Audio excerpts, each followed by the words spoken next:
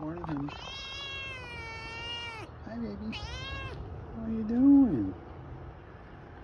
It's a little chilly this morning, but not freezing. Ah, you gonna come here? Come on. Oh boy, don't fall.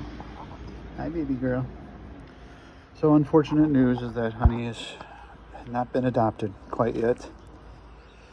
We're being told now it'll be Friday. So we're gonna do what we can to keep Honey safe and warm during this time. Just another hurdle for this poor girl.